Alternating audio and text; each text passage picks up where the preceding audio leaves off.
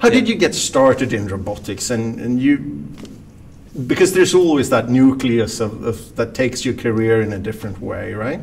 Yeah, that's a funny way to describe it, actually, when you say it takes your career in a different way. Mm-hmm. Uh, I actually got into robotics very indirectly. Mm-hmm. Uh, as an undergraduate, I was uh, in physics, mm-hmm. Uh, and for a long time, I was really sure that you know physics was my field. It was the thing I wanted to do. That was the path I was going to pursue.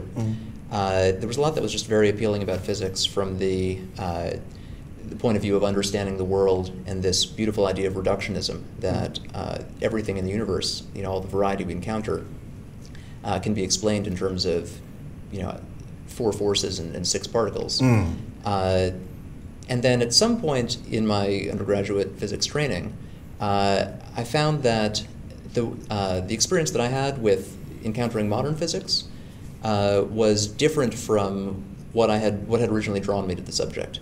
Uh, so it, it was sort of less about things that involved understanding the world in any sort of intuitive way, uh, and more about sort of doing math and magical manipulations on a page that wound up, uh, you know, having great predictive power, but mm. not in any sort of way that felt satisfying to me. Mm, mm.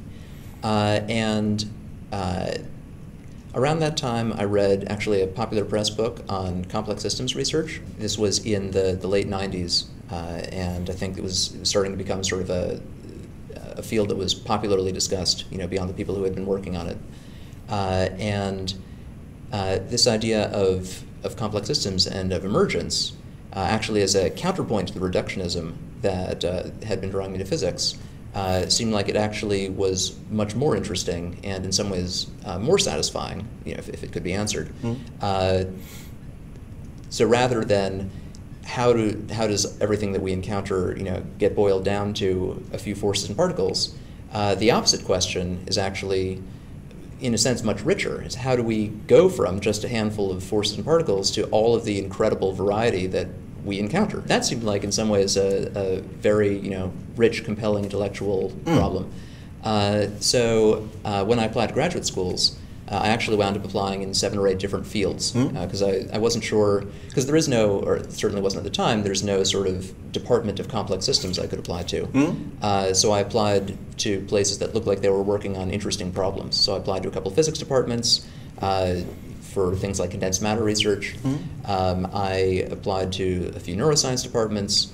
Uh, I applied to MIT actually in three different departments for you know different interesting things, and um, uh, I wrote my application essays about a couple different things, and uh, one of the themes I, I, wrote about, for instance, for neuroscience programs, mm. was uh, the brain. Mm. It was was consciousness. Mm. It's you know because that's mm. you know maybe the the closest to home mm. amazing emergent system. You yeah. know we've got this uh, you know block of ten to the twelfth neurons that let's pretend for the sake of argument that a neuron is simple, which it isn't even a little bit, mm. uh, and connect them up in the right way, and we get basically magic, right? Yeah, yeah. to us, it's like the experience of consciousness mm. is is magic. You know, yeah, like I still I'm, remember I read Daniel Dennett uh, yeah. and, and, Douglas Hofstadter and The Mind's I, and, and I got just slightly spooked out when I'm thinking I exist somewhere in there, and it's slightly flowing it's like around. This illusion of consciousness. And, you know, like, yeah, and, yeah. And it's like you know, I, I can just think about something happening in the world, and it's happening. This hand is moving. That's amazing. And like, yeah, what's doing? This? Anyway, so yeah, so it's yeah, but it is. So uh, so that was a, a, thing that I wrote these uh, mm. the neuroscience essays about. Like I want to understand consciousness mm. Uh, and how that emerges from the interactions of neurons. Mm-hmm. Uh,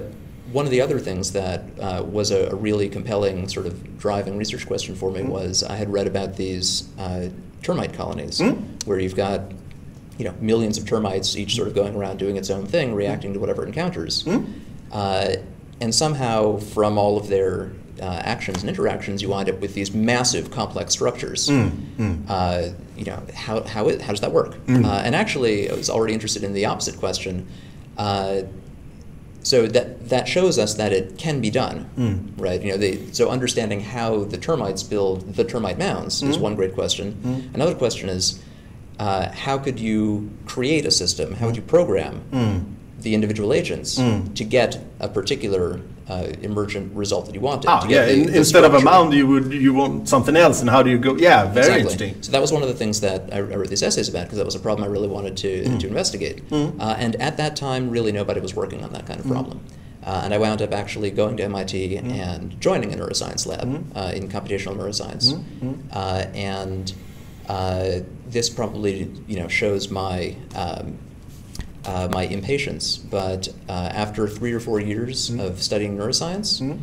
I came to the personal conclusion that science is unlikely to understand consciousness within my lifetime. I would think in, so. In yeah. a way that I feel like is is you know the the kind of personally satisfying understanding mm. that, that I thought I was looking for. Mm. Uh, though, of course, you know, great progress has been made in, in you know mm. parts of the question. Hmm.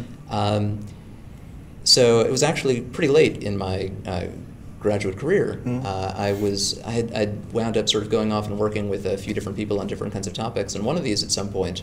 Uh, I was at this stage, which I understand is very typical in, in extended graduate programs, mm. uh, where I was just sick of everything. Mm. Just like I absolutely wanted to just write up whatever I had and get out, and who cares what comes next. Mm. Uh, and I was talking with uh, one of the uh, PIs I was working with uh, on, on you know some other mm. problem, and, and he and, and I expressed this kind of general mm. dissatisfaction, and, and he asked me, so what would you work on if you could pick any problem? What would it be?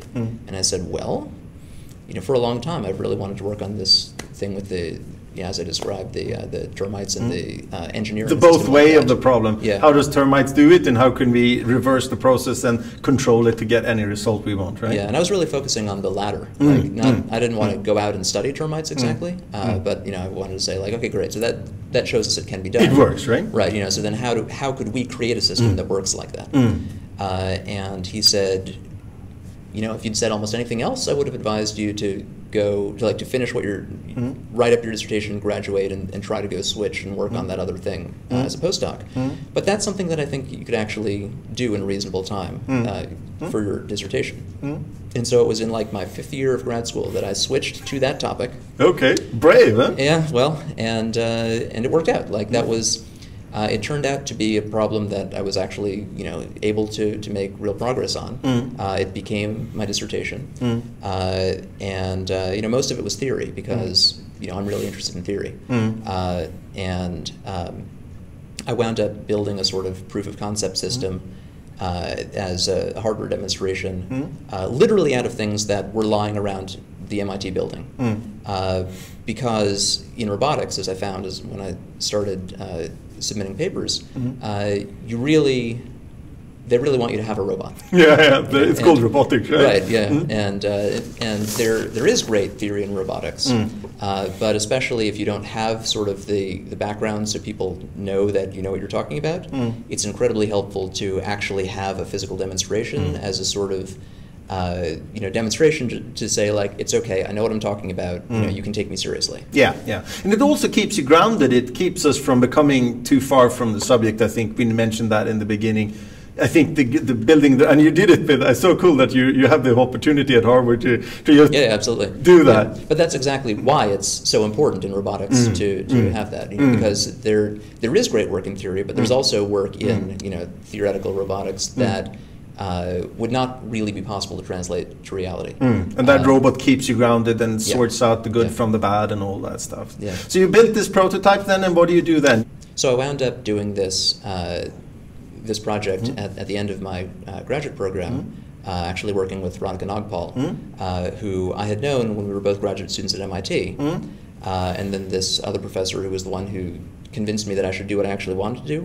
Uh, mm-hmm. Suggested I, I, go talk to her and see if she wanted to uh, uh, to support this project, mm-hmm. Uh, and, and it worked out brilliantly. So mm-hmm. you know we wound up uh, starting on this at that time. Mm-hmm. Uh, I graduated. I did a one-year postdoc with her, and then I went off and I did a different postdoc mm-hmm. on very different kinds of, of subjects. I was doing mm-hmm. some work in evolutionary theory and cancer modeling, um, and then when the Wyss Institute was mm. getting started up, mm. uh, I'd, I'd worked with Radhika, of course, mm. and, and uh, uh, she was trying to recruit me. I'd done some work with Don Ingber, who was the head of the institute, uh, and, and uh, he suggested I come, and so uh, this was what I wound up doing.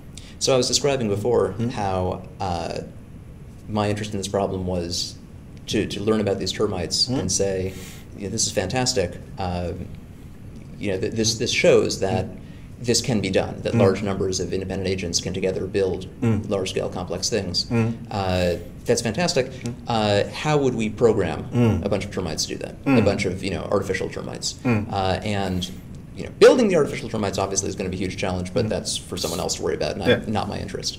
Uh, so around the time the Wyss Institute was starting up, uh, Kirsten Petersen in Denmark uh, was working on very much the same problem uh, she had learned about the termites and said, "This is fantastic. This shows this can be done." Mm-hmm. How would you build a bunch of termites, a bunch of robots, mm-hmm. you know, to build the thing you want? Mm-hmm. And I don't really care how you program them. Someone else can worry about that. I uh, see a beautiful friendship exactly, starting here. Exactly. so, uh, so her advisor uh, talked to Kasper Stoy, hmm? uh, who had done work with Radhika, hmm? uh, and they sort of you know engineered that uh, hired uh, Kirsten to, mm-hmm. to come work at the Wyss. She recruited me mm-hmm. uh, exactly because you know the, the, carrot was mm-hmm. we're going to get to do exactly this thing that's mm. really been driving us. Yeah, and you've been interested in this project project for a very long time. Exactly. And I also think that it's been in your mind for a long time, and your mind has matured around that issue. I'm quite sure there's there's something like that going Maybe. on Maybe. It, it, definitely gets easier to think about the longer you think about it. Yeah. But, yeah. Mm. Yeah, so then you, then you're there. You've got somebody dealing with the hardware, and uh, so that's that's when the Termes project started in mm. 2009. Uh, mm. When when we all started at the Wyss. Mm. Uh, the Wyss, in fact, started in 2009, mm. uh, and you know we started working on uh, exactly the thing that, that we published. Mm. You know, four plus years later. Mm. Uh, it just took a while to get there. I would presume yeah. so. It is a very complicated problem, and uh, since you also have the hardware and you're in robotics, you have this robot. It actually has to perform the tasks that your algorithms. It has to be verifiable, right? Yeah, and, uh, and to me, that's where the the bulk of the challenge is. Yeah, so the hardware to me was really the uh, the the most amazing part of the project, the mm. thing where the greatest amount of effort and mm. sort of requirement went into. Mm. And and Kirsten is just brilliant. Like yeah. she, she managed to make this work. Mm. Uh, and uh, you know, it may be that she has a different perspective because you know she's used to working on robots and, mm. and you know less so about algorithms. But mm. uh, you know, for my thinking, like the algorithm part was straightforward. That's you know, it's in theory. Everything mm. works in theory. Mm. You know, but getting something to work in real life mm. is amazing. She does the hardware, and yeah, there's just beautiful partnership that way. Yeah, but at the same time, this is actually a, a really uh, true partnership. I mean, mm. all three of us who were co-authors mm. on the mm. paper really you know, mm. contributed to every aspect of the project. Yeah, yeah. Uh, and that's part of what made it possible mm. uh, to, to get all the way from beginning to end. Yeah, uh, yeah. was you know we were we were talking very deeply from the beginning about mm. what the right design decisions to make mm. were, mm. uh, about you know what are the reasonable things that are attainable for the robots to do, and what are the things they need to be able to do in order to uh, you know accomplish something reasonable altogether. Uh, and as uh, you know things changed in real life, and as experiments showed that you know something was more or less feasible, we'd sometimes mm. change uh, our thinking. But it was you know we were all really working on all aspects of that, mm. uh, and that's I think a, a, big part of, of why it wound up being uh, successful. Mm. You know, both with the, the strong theoretical foundation, but mm. uh, through the, the real life realization. Mm, mm, mm, All of you bringing that essential component and fitting together, and then doing it as a team. Yeah. I think that that's that is where any great work comes from, and every great science certainly comes from. I mean, we see so many Nobel laureates having one or two or three people on the same ticket, so to say, and it just comes in there and, and the minds support each other. And and uh, you said also Kirsten had talked about uh, thought about the termites uh, the termites mite problem ahead of time, so you were all kind of on the same page right, and already. so we'd each done sort of different kinds of work on this subject yeah. beforehand. Again, it gets easier to think about the longer you exactly. do it. So, can so the, the could you tell us any key points in the Termes project, project that you think that were revelations that, that really said, "Wow, we really took took it to the next level"? Nothing is really coming to mind. It's mm. it's a good question, but mm. uh, you know, in some sense, I mean, my experience when I started. Mm. Uh, working on, on this topic mm-hmm. completely in theory. Mm-hmm. Uh, the biggest surprise, in a sense, was that it wound up tractable. You know, it is like actually it, possible. In, in, a sense, it, it, didn't have to be. Like it could have been that you know I sat down to, to try to understand a, a literally incomprehensible system, and that you know that it could have turned out to be a thing that you know no human could make progress on. Mm. Uh, as it turned out, it was mm. very tractable. Like it mm. was it was straightforward to sort of start in one place and, and uh, increase in complexity and, and build up this uh, you know, sort of algorithmic framework to describe the um, the, the building of, of collective structures. Mm. Uh, so when we started the Termes project, uh, in a sense, like that, that wasn't a surprise. We, we basically knew that we were going to be able to get there. Mm-hmm. Certainly from the algorithmic standpoint, Kirsten was very confident that mm-hmm. from the hardware standpoint she could get mm-hmm. there. Uh, and so it was sort of just a question of, you know, how to get there and where exactly we were trying to get. Yeah, when it was yeah, yeah. What is uh, yeah. the minimum requirements for the? I mean, you're not going to go out and build a real house for someone. That's for for another project. But really, the the, the technical demonstrator has to be the the, the, the most the sim, most simple one that's good enough, right? Yeah, and when you're really starting a new project from scratch, mm-hmm. Mm-hmm. uh, that's a, a much bigger risk in mm-hmm. some ways. Like you, you really don't know whether this thing that no one has tried to do before is actually going to wind up being doable. Uh, so uh, yeah, So where were the? I mean, we've seen now. I mean, the the theoretical framework is proven that given enough blocks or building blocks, uh, a, a group of these autonomous agents will complete the structure as mm, predicted, right? exactly. I mean, So- that's so- a fundamental thing we can all rely on, right? Right. Yeah. So uh, the idea is that if you're the, the user, you know, you, if you're the person who wants this group of robots to build you something, you can give them a blueprint of what you want them to build, uh, but no instructions about how to go about building it. Just show them the final result that you want, uh, and you know, give them a supply of building material Yeah. and walk away, and they'll do the rest themselves. And Uh, this, the, the- I mean, for the listener, we, for the viewer, we might say that this doesn't depend on the fact that nothing goes wrong or, or anything Correct. like that. So It- there's, it there's a lot. There's a lot that's going to be very unpredictable. Like you may not know how many robots you have. Hmm. Uh, the number might change during the hmm. process. You might lose some. Maybe hmm. things are going too slowly. You bring in some more robots to join the team. Uh, you don't know what order they're going to wind up doing things in. You know, they, they might encounter things unpredictably. You don't know what the exact timing of their actions is going to be. Uh, so this kind of thing kind of makes it.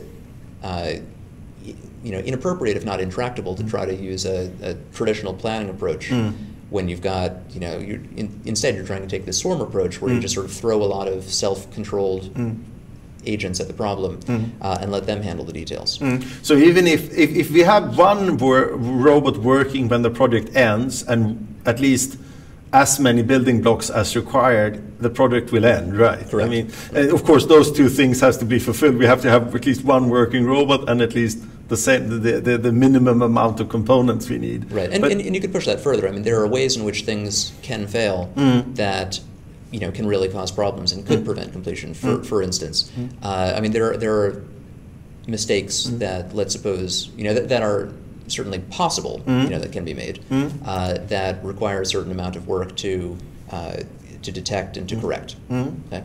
So as long as the mistakes are being detected and corrected faster than they're being made, Ah, yeah, of course. you're still going to keep making progress toward the goal. But but you Ah, know cool, certainly if you're making mistakes all the time Mm. and not actually ma- and spending all your time fixing things Mm. and actually introducing errors faster than you're solving them, Mm. you- you're also not going to get to the goal, right? No, yeah, that's very interesting. It's like um, the the failure of transformate trans, uh, transmitting data. I mean, eventually the Skype Right. signal break, breaks down, and it's Right. not uh, understandable as speech anymore. But Right. we know very well our edge edge cases, and they're they're very.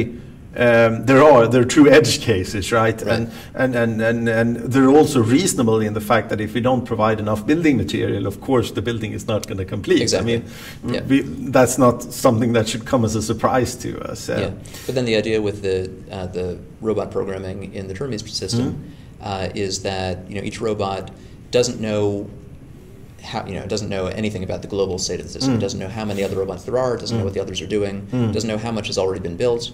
Uh, it uh, it has its own sensing, so Mm. the robots actually are limited to their own onboard sensing. Very, Mm. uh, it's actually very limited. They can only uh, they have a handful of sensors. They can only tell what's happening really right around themselves. Mm. Uh, and based on that feedback, based on what they encounter, uh, they decide what actions to take. Mm, mm, Uh, and then the uh, the trick is in designing their behavior so that all of these together, taking those actions, Mm. uh, wind up producing the thing you wanted. And so as they you know move through the workspace, they don't know what's already been built. Mm. You know they have no dynamic knowledge about the state of the system. mm. Uh, and uh, in some sense, you know, you, you could you could imagine a system where they do keep track of what they've already seen, Mm. uh, but in a swarm system where mm. there's really a huge number of, of mm. other agents uh, mm. also active, also changing the world, mm. uh, keeping that information may not actually be useful. No, because, because it's it going to be out of date. Right and, and, and, right. and, of course, also sharing the information between millions of actors is not also not possible. Not, not trivial. No. Yeah, this is very interesting. Where do you see? I mean, the project is now published in Science. Uh, Correct. Yeah, so it's the big it's splash. February fourteenth this year. Yeah, that's really cool. Uh, Good uh, Valentine's Day. Yeah, good Valentine's Day, probably from more than one perspective, but that's a great day in any day, right? Uh, and it's also great for robotic science that we're out there and, and, and really participating in at that level of the science debate. Uh, yeah, it's really exciting. There's been a, a number of papers like that more recently. Yeah, is, and, uh, do you? Th- I mean, I talk to a lot of people, and they say robotics is is coming into its teens it's not a toddler mm-hmm. anymore and it's not an adult but it, and i think that as you see i mean with one or two or more papers coming into these prestigious journals that wasn't the case five or ten years ago right yeah i mean there have been mm-hmm. uh, robotics papers in mm-hmm. science over mm-hmm. time but uh, they've they've become more common recently. Yeah, and I think that that's also the feeling I get. I don't know if you agree with me that the the, the, the there is a sign, there's a maturity and a stability in our common knowledge of in within robotics now, and there's something to lean on. You don't have to do everything from scratch all the time, and and I think that that also will make it progress faster. And I think we're going to see more and more papers coming into these journals over time because I mean it's simply so. easier now when you don't have to start from scratch all the time. And yeah, that's uh, really interesting. Could you, I mean, say that we have somebody out there that's now list, viewing this and they're saying, "Oh, cool! I can have a termite build my house." Where is the project now? Because it's closed now for you, right? Uh, the Termes project, as such, is closed. Mm. Uh, mm. So, I mean, we you know we wrote up the results of that project. Mm. It was in the science paper. Mm. Kirsten graduated. She's in mm. Europe now. Mm. Uh, we miss her deeply. Yeah, uh, and we're very uh, happy to have her. yeah. Uh, so so the, the Termes project, mm. you know, is wrapped mm. up. Collective construction work we're still working on, mm. uh, and in mm. different directions. Mm. Uh, mm. so uh, even uh, at that same time, uh, Radhika was working with the postdoc Nils Napp. Uh, he's now a professor at Buffalo on building with amorphous materials. so. Yeah, I, have seen the work. It's based on kind of expanding foam or, or, or, or things that are uh, covered in glue. Uh, he used matchsticks to construct uh, bridges and stuff. Really interesting work yeah, exactly. in, in that perspective. What I think is Termes compared to that is that the, the, the Termes project is uh, it is um, reusable all the time because the, the, blocks doesn't really stick to each other and I really like the the reusability. When you have one structure, you could instruct these uh, agents to continuously modify your structure to whatever you need. So I think that's great for the experimental standpoint. Yeah. Like if you're trying to build one set of blocks and reuse them to build yeah. many things. Yeah. Uh, I'm not sure if that's what you'd actually want from a construction standpoint. Because I mean, typically, you know, we build a building, mm-hmm. uh, we build it once, mm. it's finished. Yeah. Right? We don't want to change it after that. And is that only because we can't change it after mm. that, or would we actually want to if it were easy enough to, to take things off and put them back on. Yeah, I uh, had some communication with uh, some I have conversations with architects about this, uh-huh. and this is a uh, this is like the term termites for for, yeah. for architects. Yeah, because they're remodeling the, all the time. Yeah, they've really been coming back to this problem time and time again of modular buildings. We hear uh, Jules Verne talks about it in 130 years ago or something like that uh, of us renewing our cities every year because we just tore all the buildings down and built new ones. And, um, uh, and, and architects have come to these problems throughout the ages of trying to make the buildings adapt to the needs of the users. Are you continue to work on the, the this form of construction, or is Nils Napp taking over the work and where are you going from now on, so to speak? Yeah, so lately I've been working with a structural engineer, Paul mm-hmm. Kassabian, mm-hmm. uh, and we're interested in looking at uh, taking this approach to, um, I sort of want to say more, not exactly realistic, real world physical situations, but mm-hmm. um, uh, so here's, here's the setting we're looking at. Um, so one issue is that you know, I'm going to go back three steps, right? So the Termes work mm-hmm. uh, is inspired by termites, mm-hmm. right? Uh, it's inspired at a high level. Mm-hmm. You know, the uh, like the termites, the robots uh, are acting independently. They're building large stru- structures committed to themselves, climbing over the partial structures in progress. They only have local information. They don't know what the others are doing. Uh, you know that kind of, of inspiration.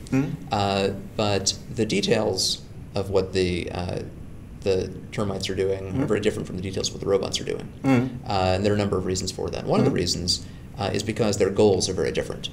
Right. So termites are not trying to build a specific mound.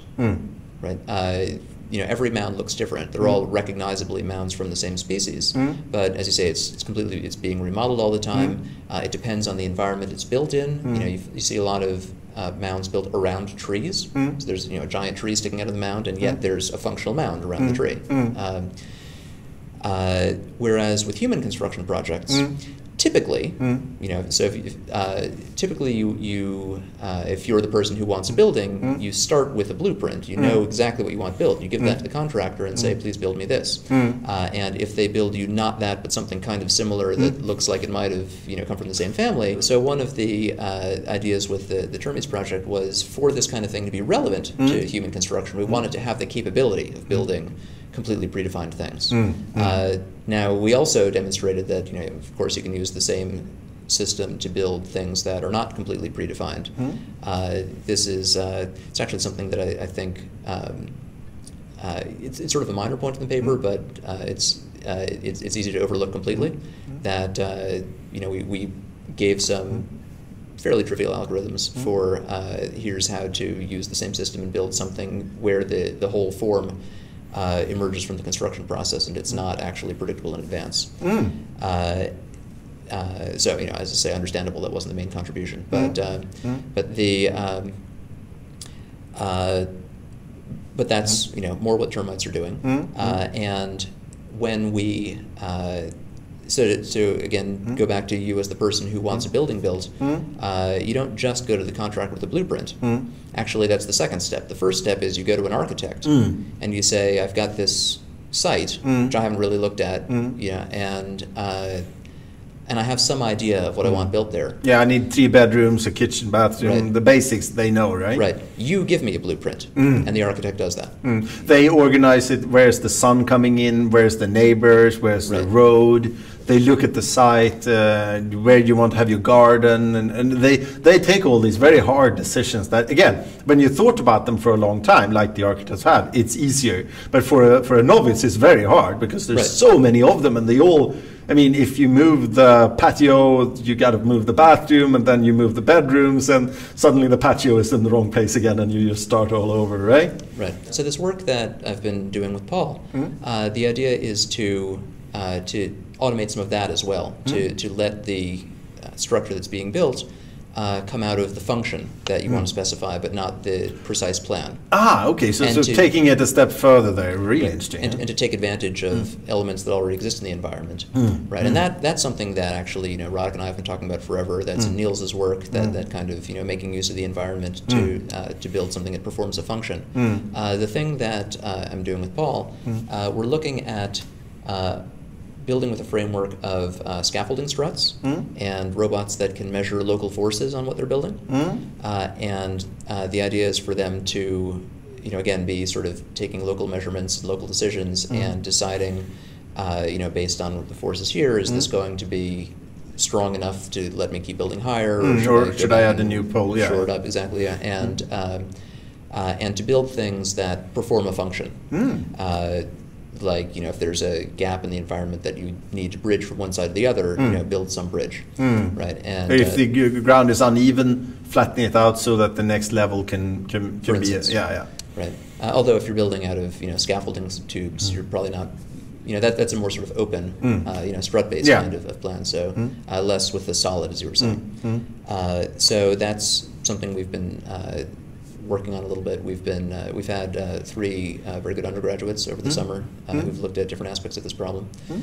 Um, so that's a direction that uh, that we're trying to take this uh, collective construction work in the future. Yeah, very interesting, and I think that the, the the f- the theoretical work and the practical work you've done, where you show us that what your original problem was. Can we can can we add input in the reverse version of the ter termites project and say I want this, and could we actually get it out the other end, both from a theoretical point of view yep. and from a practical point of view? Is is it's it's in science because it most li- most certainly deserves to be there.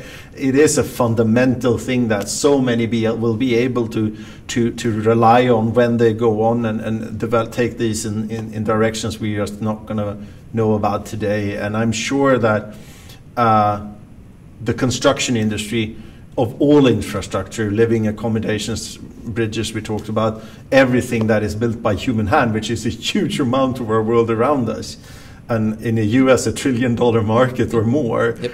uh, is going to be this is going to be a very significant part of the new version of that. I'm quite certain of it. Uh, and that's an, a major contribution. I'm very grateful for you sharing, taking your time to, to share these results with us and for participating in the interview. Thank you very much. thank you so much for inviting me. Perfect, thank you. This episode is sponsored by Aptomica. Everything you need in modular robotics or robots up close, what's going on in robotics, online and on the road. If you like this interview, don't forget to subscribe, follow us on Twitter, and subscribe to our email newsletter on robotsinDepth.com. You can also support the show on Patreon.